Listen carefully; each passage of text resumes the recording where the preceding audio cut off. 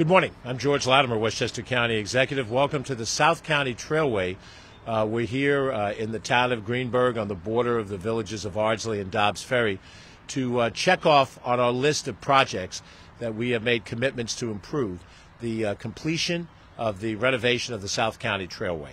I'm joined here today by our Deputy County Executive Ken Jenkins, the Commissioner of Parks, Recreation, Conservation Kathy O'Connor, the first Deputy Commissioner of the Department Peter Tartaglia. We have with us uh, County Legislators Mary Jane Shimsky and Jewel um, Williams Johnson. Uh, we have with us as well uh, Town Councilwoman from the town of Greenburgh, Ellen Hendricks. And did I catch everybody? I hopefully did. We'll be hearing from uh, some of these individuals in a second. Uh, this is the um, completion of a project that has been long overdue, as many of the capital projects that we've tackled in Westchester County have been. And you've seen over the um, over the months in the last few years how we've been able to repair the North County Trailway, which exists north of 287, similar uh, a railway that's been turned into a uh, biker and walker path. Uh, the repairs that we made on the Sprain Ridge pools dating back now four years ago, opened three years ago. The Miller House, uh, Washington headquarters, and uh, in the town of North Castle, the work that's going on in Playland right now. This is an example of the continuing commitment that this government has made, and the government, including both the executive branch and the legislative branch, to look at the assets that Westchester County has and bring them back up to a usable level so that the people that use this corridor to walk and to bicycle, to enjoy nature, to get exercise and health, are, are able to do it in a safe environment and an environment that really enhances the value of this area of the county. Um, this project is part of a $3.1 million capital project. I'm going to have uh, our friends in the Parks, Recreation, and Conservation Department talk a little bit more about it but we're, we're very happy that it is now in a usable condition as we make our way from the late spring into the summer. It's going to get a lot of good use uh, both uh, during the summertime and the fall and even in the wintertime. And uh, we're very, very happy that we're here to kick this off. So let me first ask our Commissioner of uh, Parks, Recreation, Conservation, Kathy O'Connor, to kick us off and tell us a little bit about the project. Commissioner. Good morning, everyone. Thank you, Kenny Executive Latimer. We are so excited to be standing on this fabulous blacktop. Um, we've been working here a long time, and I have never seen anything look so more more beautiful than what we're looking at right now. As the county executive mentioned, this has been a long time coming, like so many of our capital projects, but we're really moving. This last year, two years, have been unbelievable progress for us. Um, as you've heard us say many times in the past, when we do our surveys with the public, hands down, our trails, over our 200 miles of trails, come out on top. On top of golf, on top of the pools, beaches, conservation, anything else. People love our trail. This is, the South County Trail is 3.6 addition to what has already been done up at the North County Trail. And collectively, I believe it's about a 64 mile run. And we are, as we said, just thrilled to have it open. We want to thank our director of Con- uh, our director of conservation, Jason Klein, all his staff. There is a specific uh, team that works on the North County Trail as well as the South County Trail to keep it clean, open, and safe for the public. So again, as always, we thank the county executive. We thank the Board of Legislators. Collectively, they have been fabulous over the last four years, working closely with the Parks Department and DPW and planning and everybody else. We seem to work with every department uh, to get these projects through. So congratulations to everyone. Thank you for everything, and uh, we look forward to a great summer. Thank you. Thank you, Kathy O'Connor, Commissioner of Parks, Recreation, and Conservation. Our first Deputy Commissioner, Peter Tartaglia, has been involved directly in the implementation of a lot of these programs, so I'd like him to share a few thoughts about this. Peter. Good morning. Thank you, George, and thank you, everybody here today. Um, if this is a case of if you rebuild it, they will come, they never left. Um, this was built, and we kept most of it open during the time that it was built with some closures. But the popularity of the South County Trailway as well as the North County Trailway is so high. We have many parkways that bring people by car north to south in this county we have one North and South County Trailway that will bring you from Van Cortlandt Park in the Bronx all the way up to the Putnam line. And that is this part of this pathway. And it is an unbelievable service to the people of Westchester. It used to be the old Put. It was known, it was a railroad that would take people from uh, New York City, uh, from the Bronx specifically, up to Putnam County. The land was given back to the people over many years ago and built, and it was time to rebuild for the future. And that's what we're doing in Parks and Recreation, Department of Public Works, Department of Planning, County Executive's Office, Board of Legislators, and everybody else in county government. There are a couple of people here who are instrumental in this particular project. Uh, Rob Lopane from the Planning Department, who is the designer of the project. Thank you, Rob. Um, and our, our, team members from DPW and T, which are Nadia Savage, Savage, sorry, Nadia, and Vince Altamari. We all work very closely together. This is a government that works together. It's not the Parks Department versus DPW versus planning. Everyone works together, and it starts with the leadership of our county executive and our board of legislators. So we thank them very much. We've got right now, to George's point, 50 active capital projects in county parks.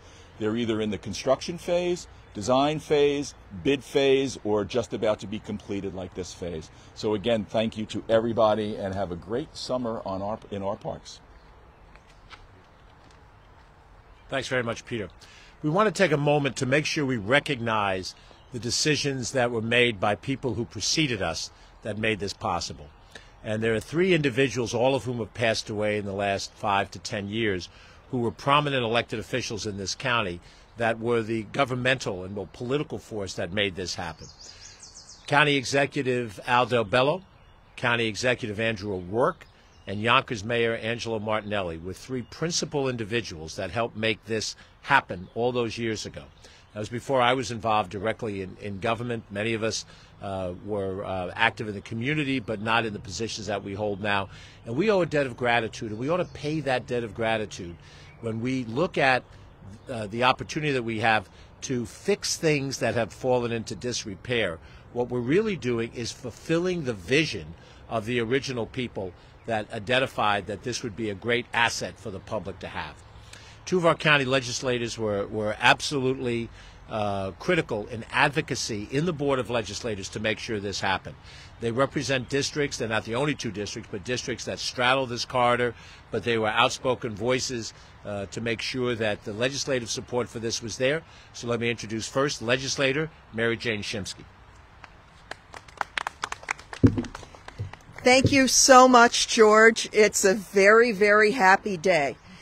As uh, Commissioner O'Connor pointed out, our trailways are definitely our most loved and most used recreational facilities. This stretch of the um, South County Trail has been in disrepair for a long time. Um, I have been receiving dozens of calls about it on a regular basis. And I felt so bad when George got elected because I knew he had $2 billion of capital projects to take care of and at best bandwidth for no more than a couple hundred million a year, and that's even pushing it. So it took time to make it through the list. First, we got the crumbling bridges taken care of, and we worked our way through, and now the trailway is in great shape.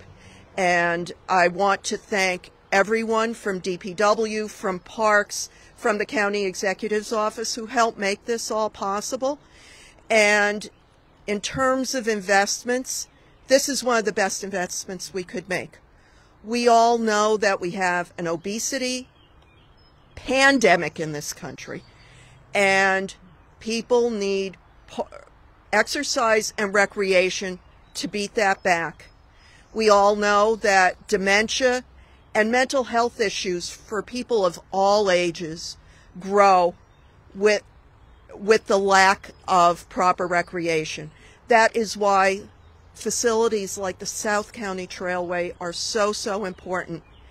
And this will help ensure the health and the mental health of our residents for decades to come.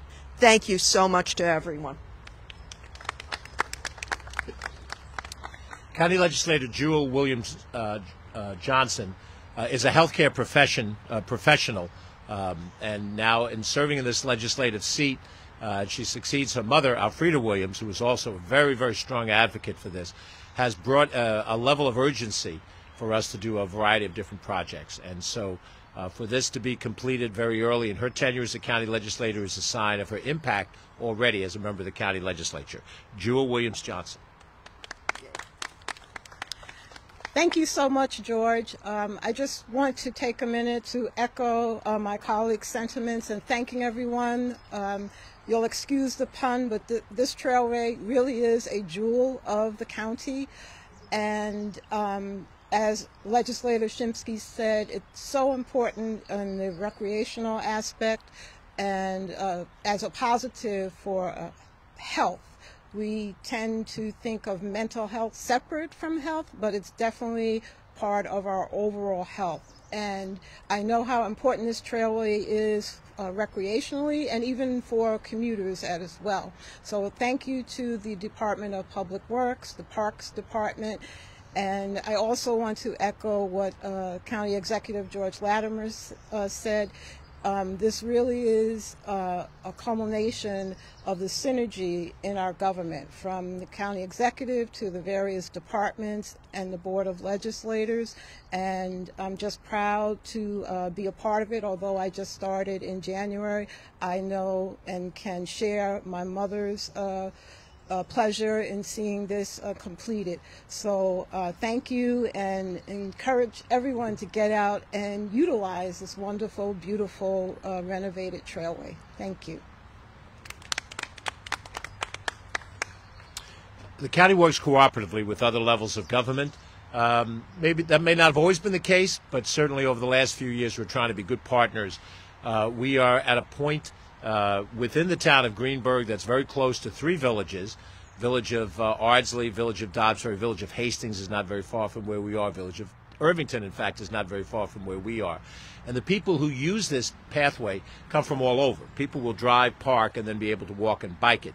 But certainly the town of Greenburgh, uh, encompassing those villages as well, over 90,000 residents in the town, uh, see this as a very critical recreational facility. It may be county owned, but it's used by the people of the town in the same way that uh, um, the Macy uh, uh complex up the road, which is a county owned facility, is as well. Town Councilwoman Ellen Hendricks is with us here, and on behalf of her colleagues on the town board, I'd like for her to just say a few words as well. Councilwoman Ellen Hendricks.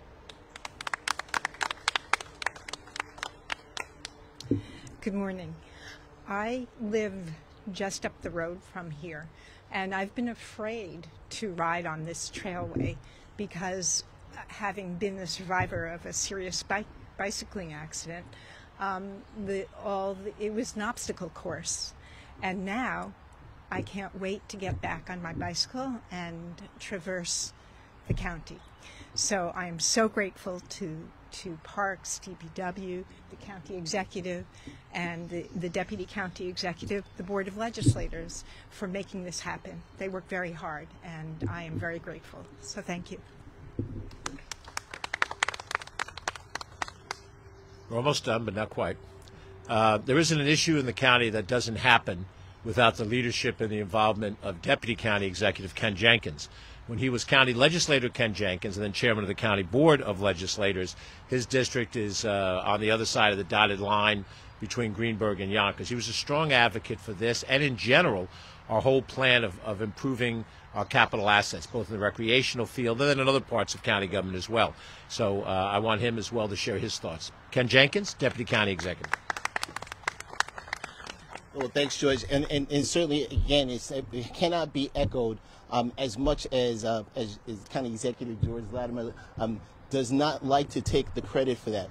You need to have the leadership of County Executive Latimer, as Mary Jane Shimsky pointed out, getting in office to look at that $2, um, $2 billion worth of capital projects and make the investments necessary.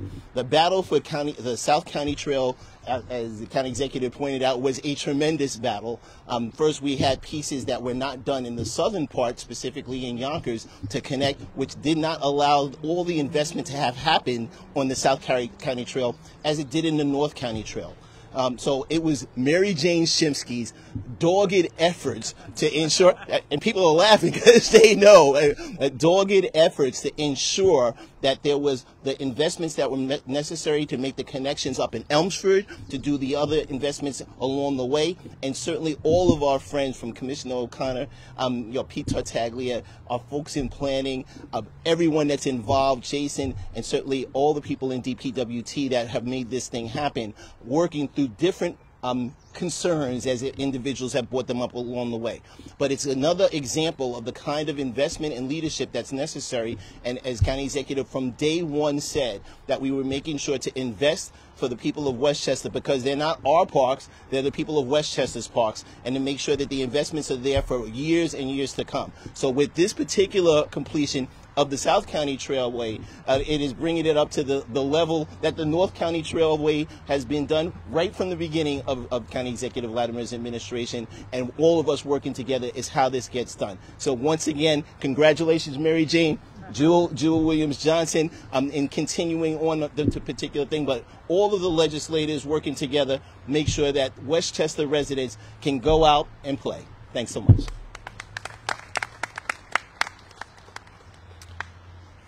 When I uh, first became county executive a little over four years ago, the very first thing I did was an executive order to take the name of the county executive off of all facilities in Westchester County, uh, except for the door that leads into my offices on the ninth floor. And, um, you know, as I would drive around, I would see names of governors and uh, mayors and county executives splashed everywhere. But I saw that, that many times that, that the work behind having the name on the sign was undone. And, and what we needed to do was focus on the achievement, not on who gets credit for the achievement. The credit for this achievement is more about what, what Rob Lopane has done with his professional skill. It's more about, uh, more about Nadia Savage and her professional skill than it is the name of the county executive.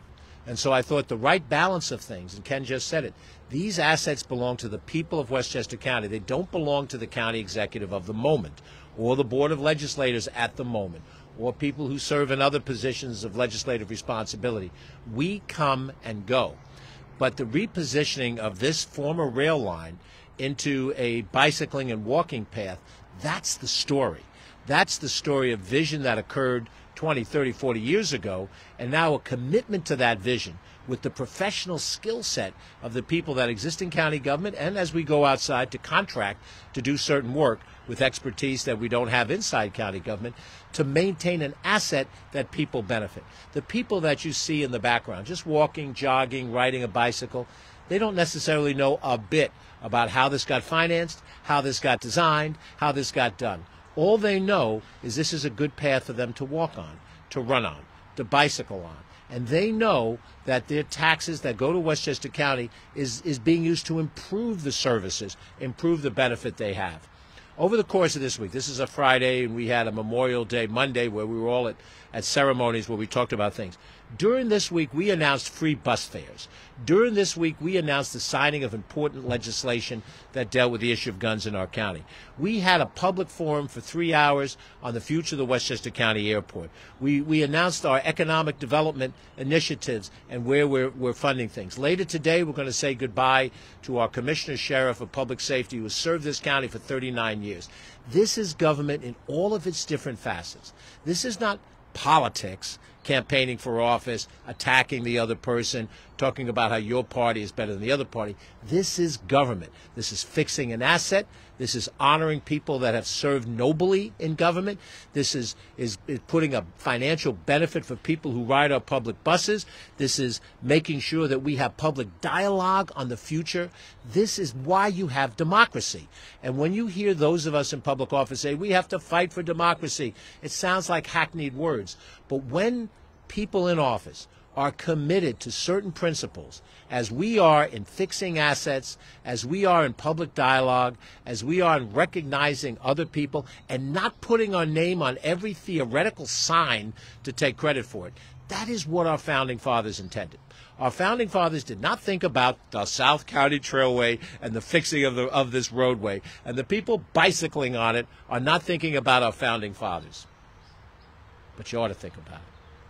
You ought to think about that's why you fight for democracy, so that rational people with authority can do good and positive things. That's what we've done today, a good and positive thing. And I want to thank all of my colleagues here, the professionals in the department, uh, my fellow elected officials, the role that Ken Jenkins and the other senior managers play. Today, we announce that we're proud that we've done a good thing. Uh, we have a member of the press present. If there are any questions, we're happy to answer them, myself or anybody else who's here. And if not, we have a feed that uh, uh, you can certainly follow up with us. Uh, both uh, Lori Sage from the Department of uh, Parks, Recreation, and Conservation and Carolyn Chaffee, our Director of Communications, would be happy to take any questions that you have. You can reach both of them directly. You have information, no doubt, if you're in the press, on how to reach us. And we thank you for being here today. The weather held out, and let's go Rangers tonight. Thank you.